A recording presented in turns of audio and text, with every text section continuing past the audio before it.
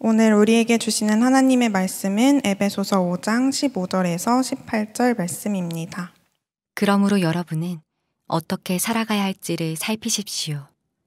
지혜롭지 못한 사람처럼 살지 말고 지혜로운 사람답게 살아야 합니다. 세월을 아끼십시오. 때가 악합니다. 그러므로 어리석은 자가 되지 말고 주님의 뜻이 무엇인지를 깨달으십시오. 술에 취하지 마십시오. 거기에는 방탕이 따릅니다. 성령의 충만함을 받으십시오. 어, 제 그제 젊은이 교회 온라인 어, 동계 수련회가 어, 있었습니다. 뭐, 여러분들 많은 분들이 함께 참여해 주셨는데 어, 아주 큰 은혜가 어, 있었습니다. 어, 귀한 말씀이 있었고 또 귀한 간증도 있었고 또 뭐 여러 순서 순서가 참 알차게 꾸려진 그런 시간이었습니다. 먹방도 했어요.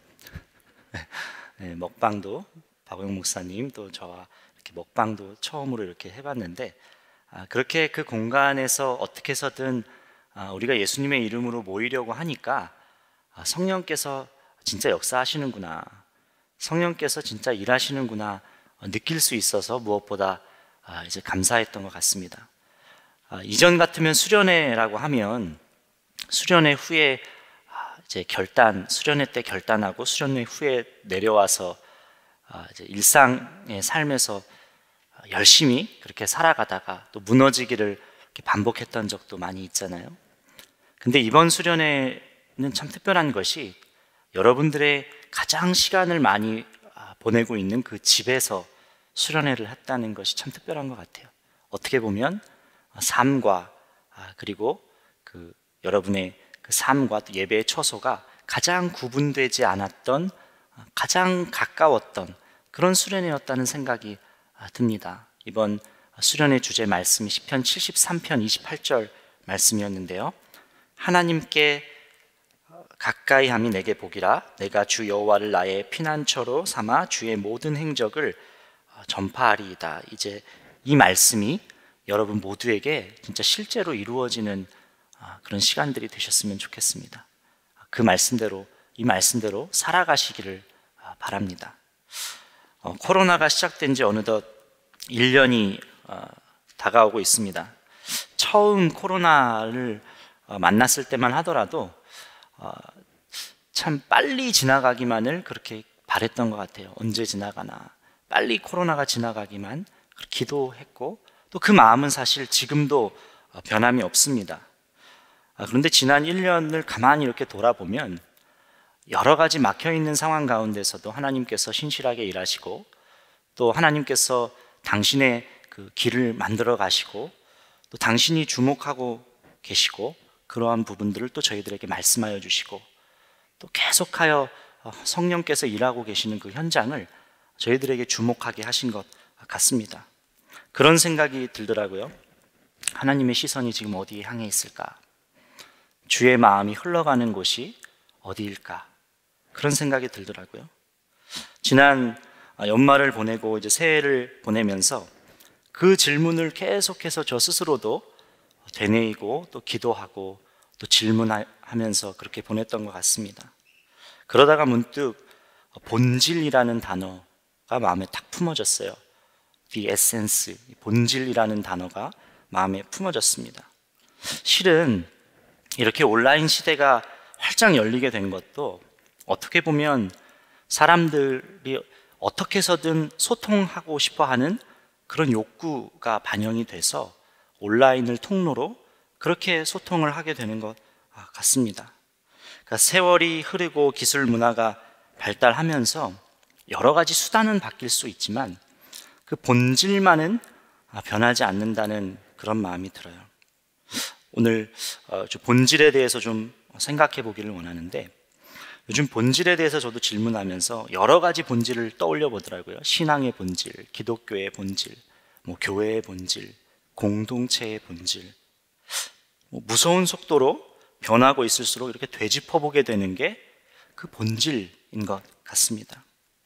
전염병 위험으로 이렇게 온라인으로 예배 드리는 것도 아, 이제 우리가 일상 아주 일상화 됐습니다. 이렇게 예배를 드릴 수 있는 것이 감사한 일이기도 한데 만날 수가 없는 형편이니까 어쩔 수 없이 그런 이런 형식의 변화가 불가피한데 한편으로는 그런 염려도 들어요. 목회자로 아, 형식이 변화되었다고 해서 예배에 대한 진정한 의미, 그 본질이 변하면 안 되는데 라는 그런 생각이 들어요. 예배의 중요한 본질이 희석되고 왜곡되는 것만큼 그것만큼은 정말 주의해야 되겠다라는 그런 생각이 들어요. 예배는 하나님 앞에 나와서 하나님과 만나는 시간이잖아요. 나는 하나님의 백성입니다. 나는 하나님의 자녀입니다. 이렇게 고백하는 시간이 바로 예배잖아요. 우리의 마음에 전심을 드리고 또 하나님 말씀 앞에 서서 내 삶에 틀어진 부분들이 있다고 한다면 원래대로 그 궤도의 설정을 제대로 하는 시간이 바로 예배입니다. 그렇게 주님의 깊은 임재 속으로 들어가요. 그러니 참 중요한 것이죠. 만약 예배의 이 본질을 잃어버린 채 뭐 모니터 앞에서나 휴대폰을 켜놓거나 TV 앞에서나 아니면 뭐 본당에 나와서 예배를 어, 드릴 때도 이 본질을 잃어버린 채 예배를 드린다고 한다면 이건 정말 위험한 것이죠. 정말 심각한 위기인 것이죠. 반면에 내가 예배자로 지금 주어진 상황에서 허락하신 상황에서 가장 최고의 예배를 전심을 드리는 예배를 드리고 있다면 예배자로 서 있다고 한다면 뭐 그러면 그 주님은 예배를 우리의 예배를 받으시는 분이시죠. 상황이 이렇게 되면서 예배를 드리고 있는 우리 각자에게, 여러분 각자에게 주님이 질문하시는 것 같아요. 너는 정말 예배자냐? 너에게 예배가 무엇이었냐? 진짜 예배자가 될 것인가?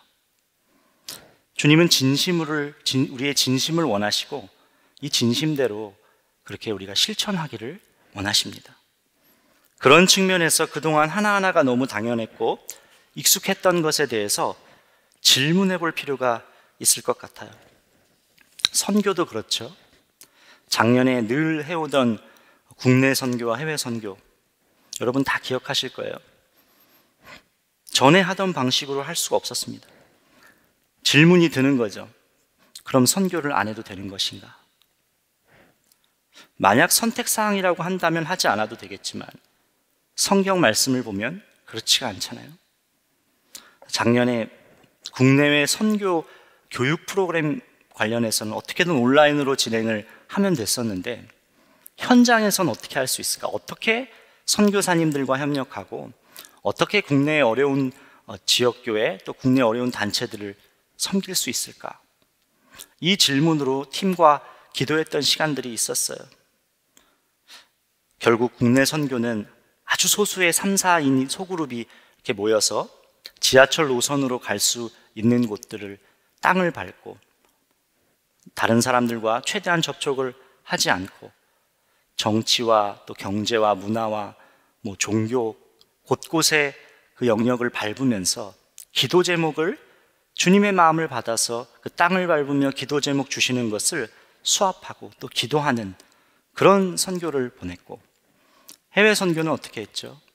해외 선교도 현지에 있는 선교사님들과 연합하여 온라인으로 어, 여름 성경학교 캠프를 프로그램을 만들어서 온라인 동영상을 만들어서 돕기도 하고 현지 선교사님이 대신 온라인을 켜서 땅을 밟으면서 실제로 그 현장 선교지를 보여주며 함께 기도하고 또 선교사님과 선교사님의 특별한 기도 제목들을 나누는 그 나라와 그 민족에 대한 이해를 넓히는 그런 형태로 진행했습니다.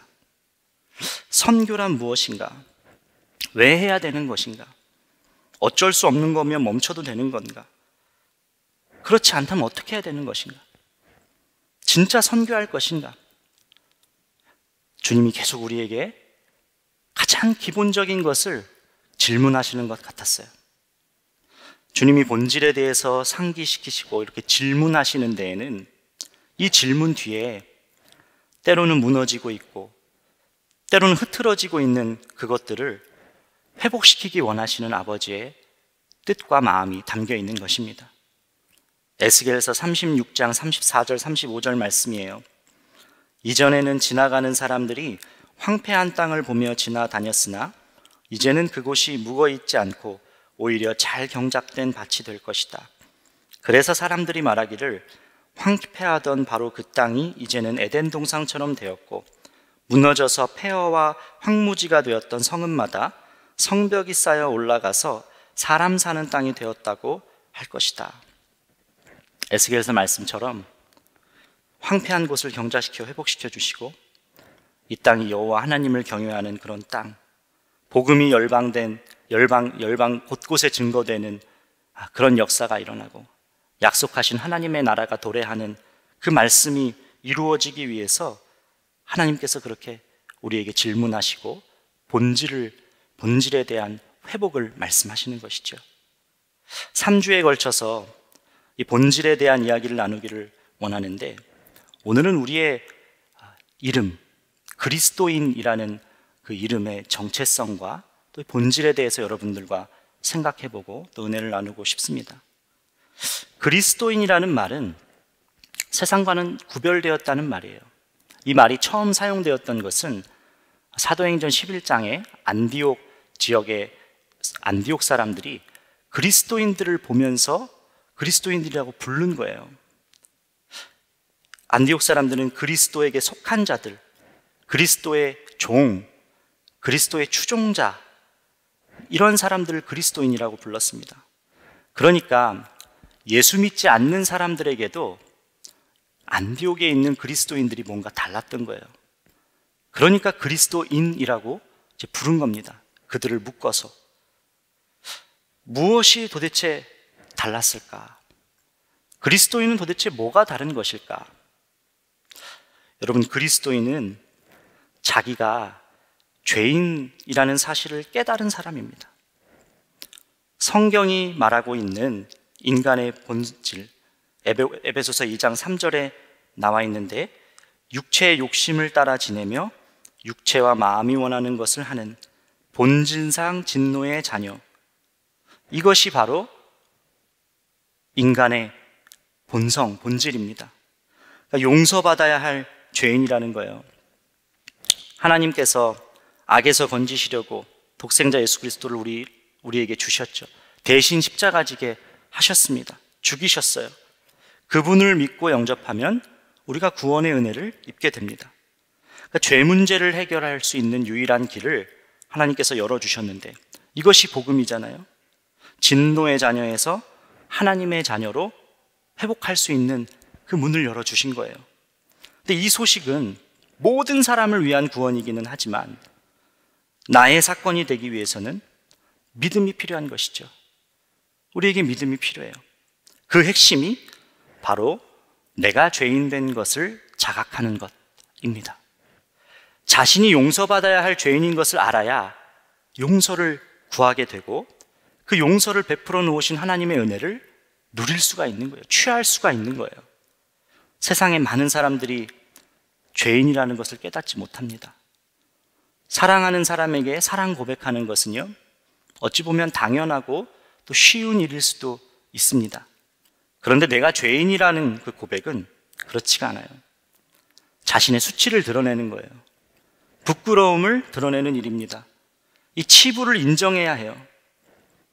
여러분 정치인이나 어, 이제 어떤 사람이 고위 공무원 자리에 오르기 위해서는 청문회를 어, 걸치잖아요. 청문회를 하게 되는데 그 청문회장을 보면 어떻게 해서든 자기가 한 그 잘못에 대해서 인정하지 않으려고 합니다.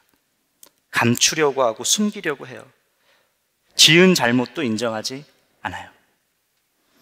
저에게 아들, 10살 아들, 7살 딸, 이제 3살 터울 어, 나이, 나이 차이가 나는 자녀가 있는데 이 아이들은요, 요즘 한창 많이 싸웁니다. 당연하죠. 어린 아이들이니까. 그래서 왜 싸우는지를 이제 부모가 수습하고 무엇 때문에 무엇이 잘못된 것을 요목조목 알려주면요. 잘 인정을 하지 않습니다. 자기 잘못을 인정하지 않으려고 해요. 실은 모든 애들이 다 그래요. 모든 사람이 다 그렇습니다. 이 모습이 자연스러운 사람이, 사람의 반응이라는 거예요. 죄는 숨기고 감추는 것이지 고백하고 드러내는 것은 자연스러운 반응이 아닙니다. 성경이 말씀하는 이 죄의 본질은 하나님을 인정하지 않고 하나님을 마음에 모시기 원치 않는 그런 인간의 본성을 뜻합니다. 시편 51편 5절 말씀에 실로 나는 죄 중에 태어났고 어머니의 태 속에 있을 때부터 죄인이었습니다. 말씀했어요. 죄인 아닌 사람이 아무도 없다는 거예요.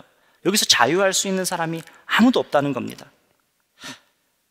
폭력이나 음란, 간음, 정죄한 판단, 다 이 죄인의 본성에서부터 나온 열매들인 것입니다. 주님을 마음의 주인으로 모시지 않았을 때 나타나는 죄의 열매들이에요. 여러분, 진짜 여러분 자신이 내가 뼛속까지 죄인이지. 그렇지, 난 죄인이지. 이것이 진짜 믿어지십니까?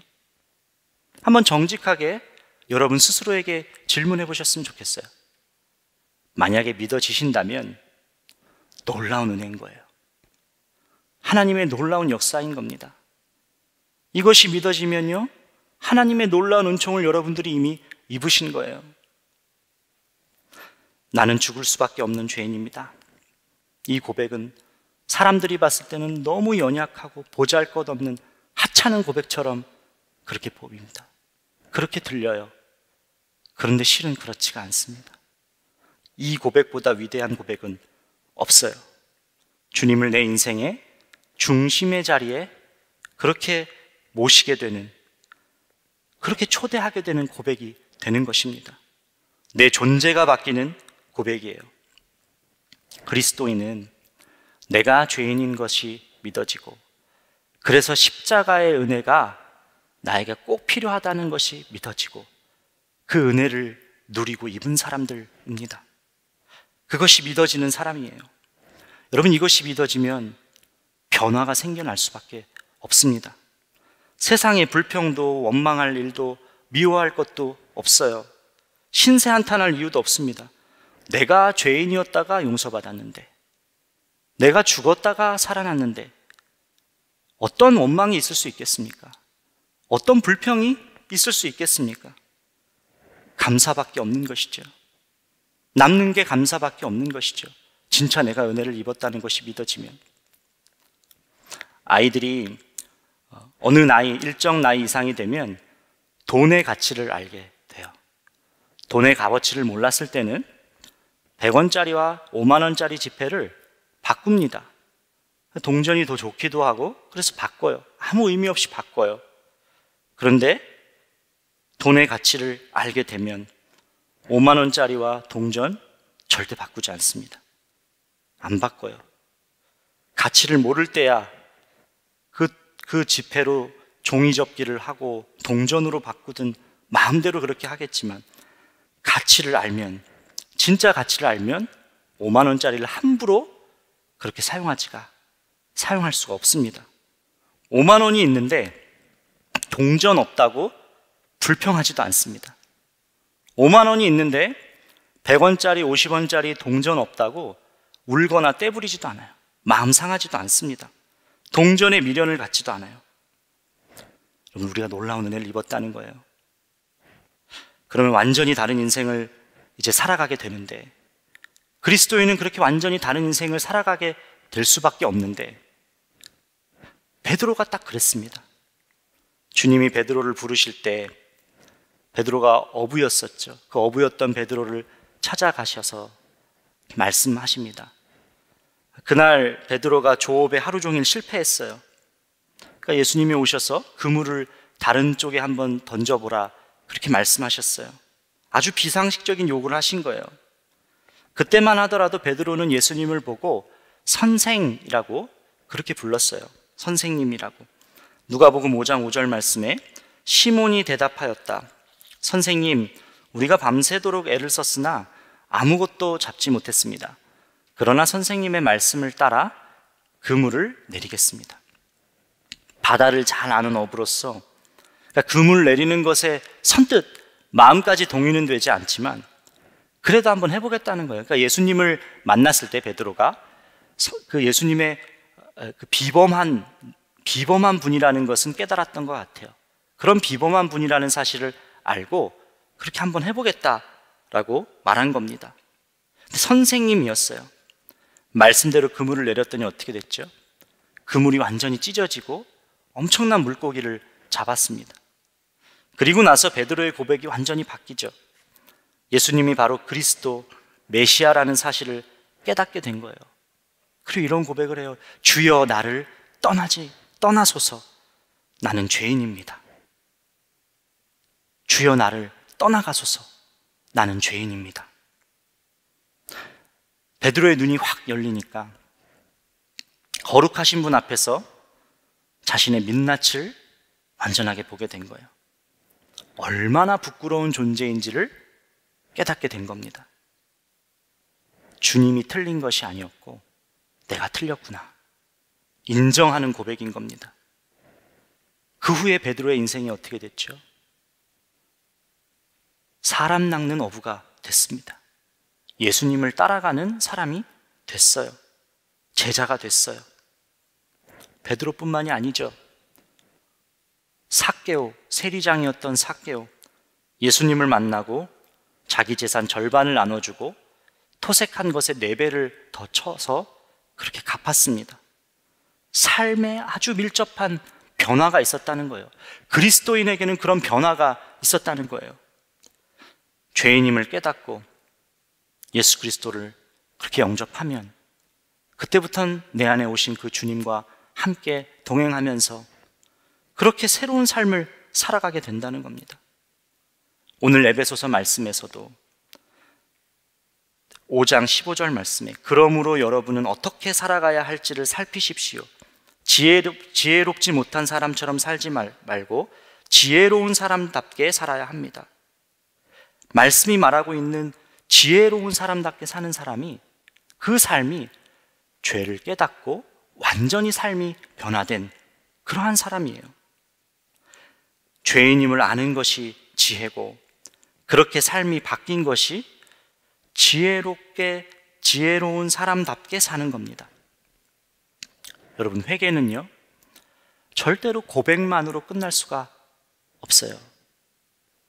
마음에 돌이킴이 있어야 돼요. 회심이 있어야 됩니다. 그렇게 이어질 수밖에 없습니다. 죄로부터 돌아서게 되고 과거의 잘못된 길은 청산하고 올바른 길로 들어서게 됩니다. 변화가 일어날 수밖에 없다는 거예요. 하나님이 미워하고 싫어하는 것으로부터 떠나기를 원하고 하나님이 기뻐하시고 원하는 삶을 쫓게 됩니다. 지혜로운 삶으로 이어진다는 거예요. 그러니까 구원의 감격과 구원의 기쁨으로 끝나지 않습니다. 새로운 존재, 새로운 피조물이 됐어요. 그럼 이제 새로운 삶도 시작된 겁니다. 성공과 돈, 성, 명예와 권력, 어떤 내가 쫓던 이데올로기, 거짓 이데올로기부터 완전하게 돌아서는 것이 바로 회심이에요. 하나님 나라로 전향하여 그분의 나라를 위한 삶을 살아가게 되는 것입니다. 17절 말씀이죠. 주님의 뜻이 무엇인지를 깨달으십시오. 주님을 만났다는 사람은 참 많습니다. 주님을 경험했다는 사람 참 많이 있어요. 구원의 은혜를 경험했다는 고백 참 많이 우리가 듣습니다. 참 귀한 고백이에요. 그런데 그것 못지않게 우리가 중요하게 생각해야 하는 것, 진짜 중요한 것은 삶이 진짜 변했는가? 삶의 방향이 완전히 틀어졌는가? 완전히 주께로 향했는가? 하나님의 나라를 향하여 가고 있는가? 그렇게 돌아섰는가? 우리가 이것을 정말 중요하게 점검해야 해요. 이 점이 참 우리의 마음을 무겁게 만들기도 하죠. 그동안 구원의 확신만을 스스로 중요하게 여기면서 회심한 후에 나타나는 변화, 삶에 대해서는 그만큼 중요하게 여기지 않았었는지도 모릅니다. 분리될 수 없는 그런 믿음과 삶의 심각한 간격이 생겨버린 것이죠. 마음 아픈 현실이지만 세상은 이런 그리스도인들을 보고 손가락질하고 또 혐오하고 또 실망하며 적개심을 품습니다. 초대 기독교 당시에 예수 믿지 않는 세상 사람들은 그리스도인들을 이렇게 평가했어요. 이렇게 사랑하는 사람을 본 적이 있는가? 그리스도인을 보면서 그렇게 평가했다는 거예요. 1세기 그리스도인의 하루 이야기라는 책이 있습니다. 아주 얇은 책이에요. 여러분들도 한번 읽어보시기를 추천드려요. 그 책을 보면요. 로마 통치 당시에 1세기 초에 그 초대 회심한 기독교인들의 삶이 어땠는지를 엿볼 수가 있습니다. 이 책의 주인공은 명문 가문 출신이고 그리고 사업가였어요. 사회적인 지위도 있었고 노예들도 데리고 있었습니다. 그가 복음을 만나고 하루 일과가 어떤지를 그 하루의 이야기를 그 책에 담았는데 주님을 의식하는 사람의 하루 이야기로 가득합니다. 자기 집안의 노예들과는 격이 없이 지내고 함께 식사를 하고 성경 그대로죠. 정말 그들을 가족같이 대했어요. 사고로 가득한 그래서 마음이 마음이 무너져 있는 그런 곳에 그 곳에 곳에는 어떻게든 선행을 베풀려고 애썼고 세상 사고로 가득한 사람에게는 우월한 신분을 내세우지도 않고 가르치려고 무례하게 행하지도 않고 따뜻하게 다가갔습니다. 온 초점이 어떻게 하면 복음을 전할 수 있을까? 그것이었어요. 그래서 목욕탕에서도 복음을 전하는 내용이 나와요. 목욕하면서, 목욕탕에서 만난 사람에게. 믿음이 약한 이들은 배려하고, 또 형제가 시험할, 시험에 들 만한 일은 하지 않고, 자녀들은 어떻게든 예수님의 가르침으로 교육하려고 애쓰고, 그러니까 더불어 살고 있는 이들을 늘 예수님의 사랑으로 대하는 모습이 거기에 기록되어 있더라고요. 회심의 변질이라는 책의 저자 알렌 크라이더는 이런 말을 했습니다. 오늘날 회심은 심리적 변화로 이해되지만 초대교회 회심에는 신념, 행동, 소속의 세 가지 변화가 있었다. 이 세 가지의 뚜렷한 변화로 인해 초대교회가 부흥하게 되었고 그리스도인들의 삶의 모습을 통해 개종하는 일들이 생겨났다. 더 놀라운 것은 초대교회 성도들은 복음을 전하는 대중전도가 없었다는 것이다. 성 프란치스코의 유명한 말입니다. 항상 복음을 전파하라. 꼭 필요하면 말도 하라. 그 모습 그대로 굳이 많은 말을 할 필요가 없었다는 거예요. 삶 자체가 복음을 전하는 그 증거였다는 겁니다. 여러분, 이 시대는 도대체 뭐가 문제인 것일까요?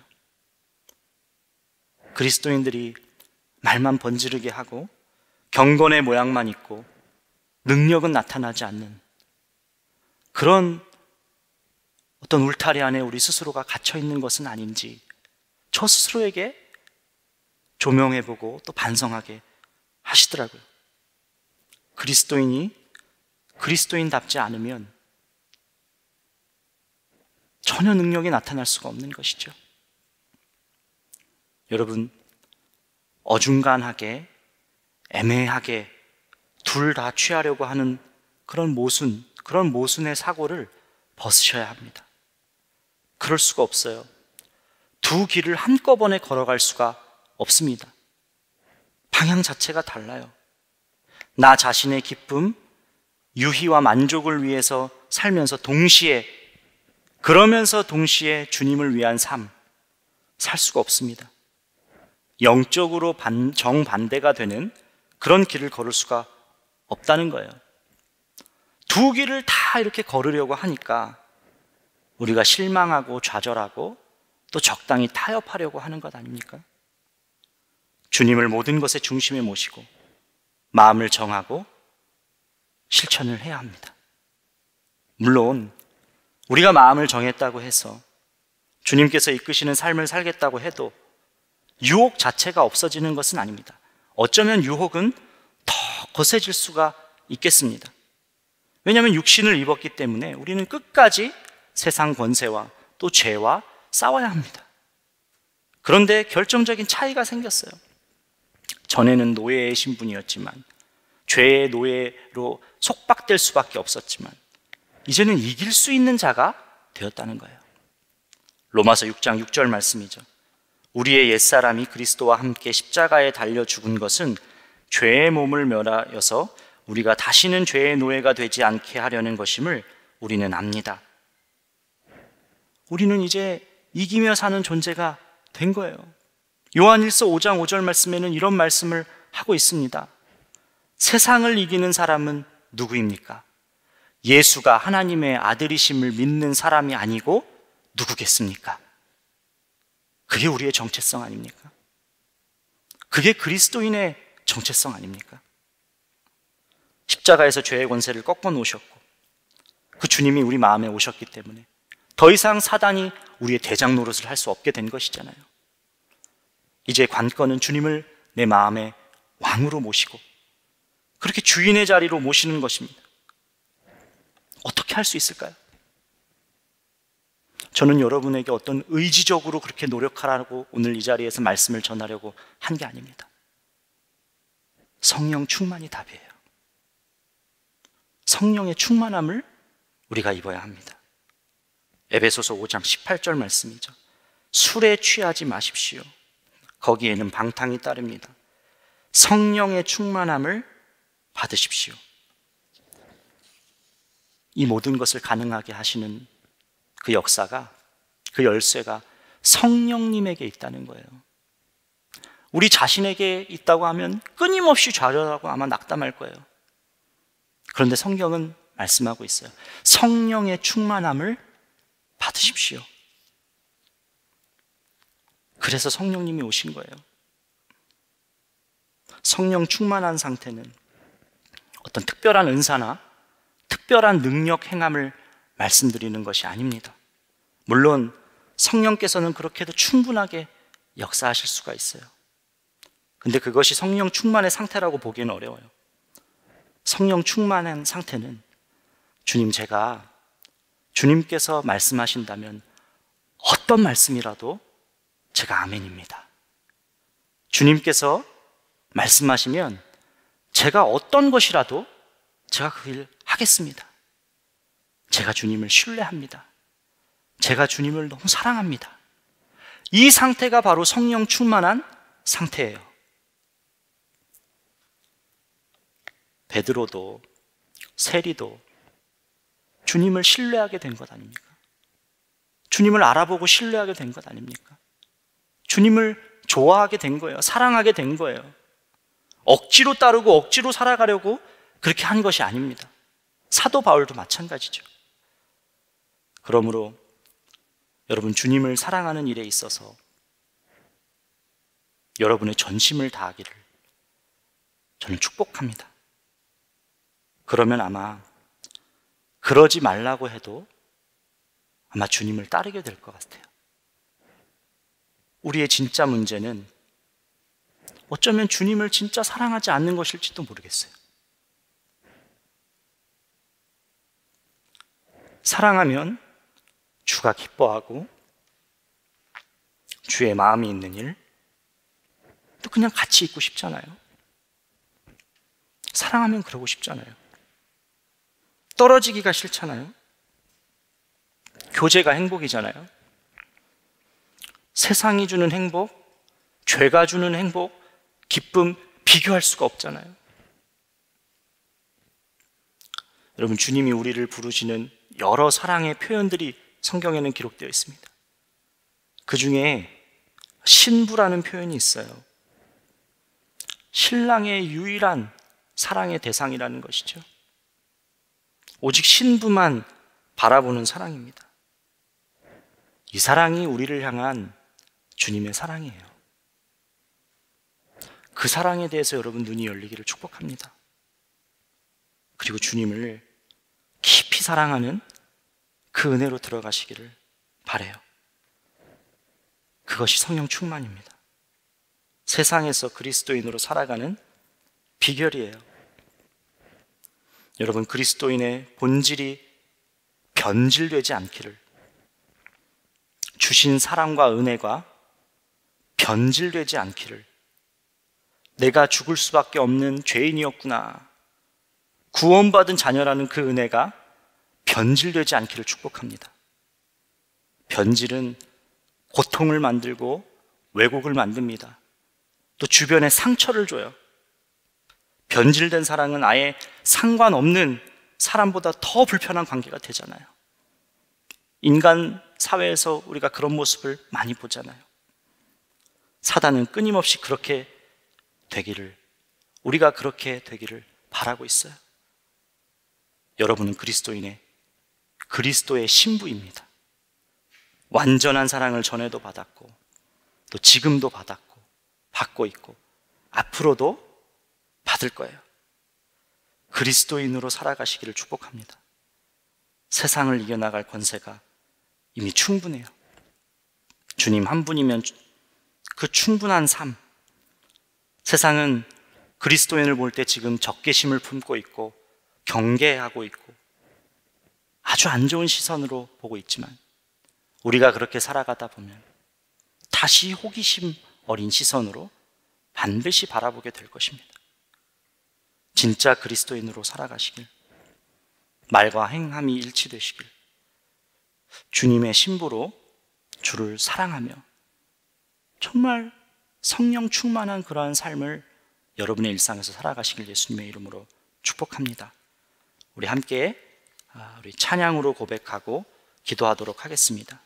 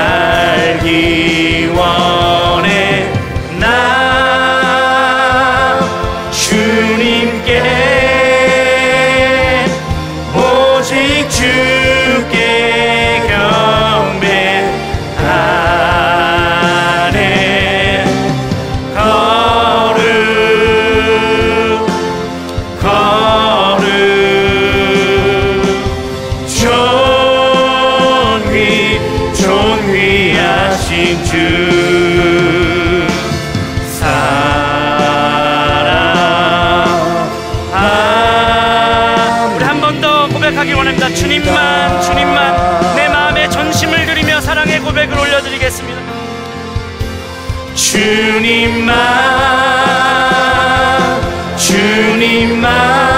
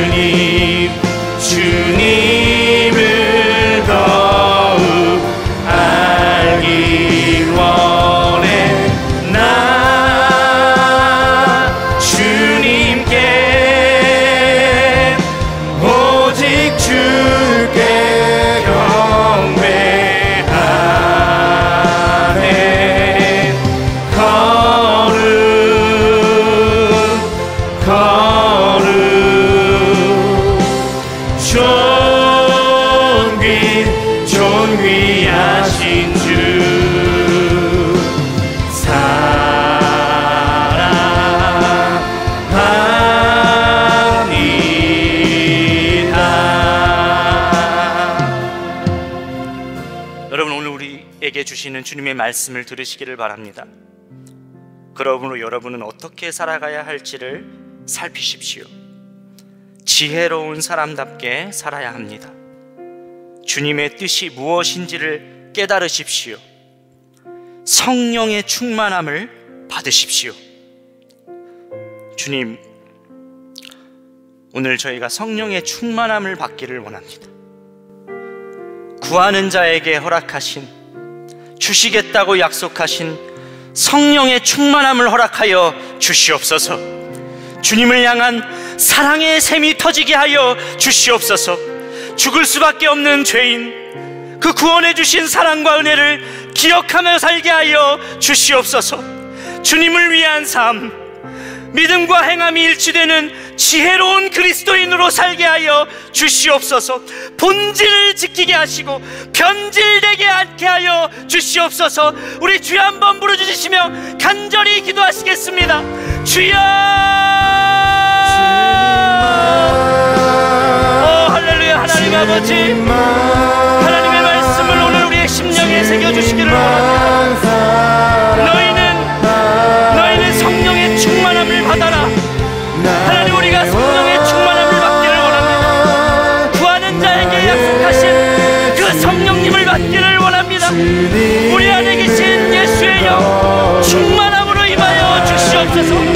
주시옵소서. 주님을 향한 뜨거운 사랑이 하나님 오늘 우리의 심령에 터져 나오게 하여 주시옵소서. 하나님 그리하여서 그리스도인답게 살게 하여 그리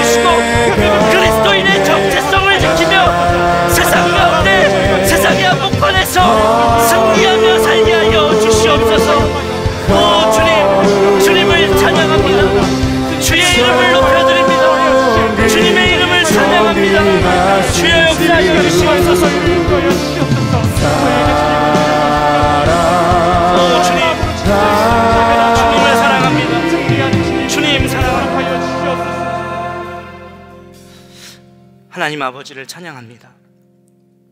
죽을 수밖에 없었던 저희들을 생명을 버리시면서까지 아낌없는 독생자를 내어 주심까지 그렇게 사랑하신 주님의 사랑을 저희가 신뢰합니다. 주님,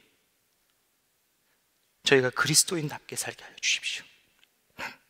그리스도인의 정체성을 지켜가며 세상을 이기며 살아갈 수 있는 존재로 우리를 부르셨는데 하나님 그렇게 살지 못했던 모습을 하나님 회개합니다. 주님, 성령의 충만함으로 말미암아 세상에서 넉넉하게 이기며 살아갈 수 있는 힘을 저희에게 부어 주옵소서. 주님을 사랑하는 일에 있어서 저희의 생명을 다하게 하여 주시옵소서.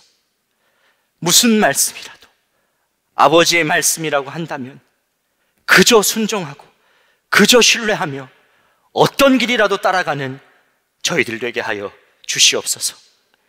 주님을 위한 삶으로 저희가 더 깊이 나아가기를 원합니다. 주님을 위한 주님의 나라를 위한 그 영광의 삶으로 저희가 담대하게 나아가기를 원합니다. 저희 젊은이 교회 모든 청년들이 그렇게 서게 하여 주시고 오늘 말씀에서처럼 지혜로운 사람답게 살아가고 주님의 뜻이 무엇인지를 늘 깨달으며 살아가게 하여 주시옵소서. 하나님, 코로나가 계속해서 하나님 우리에게 위협을 주고 있습니다. 하나님 이때 우리 그리스도인들이 여러 가지 본질에 대해서 질문하고 그것을 회복하는 시간이 되기를 원합니다. 본질에서부터 길을 찾아가기를 원합니다. 저희에게 알려주시고 또 인도자 되어 주셔서 하나하나를 아버지 열어 주시옵소서.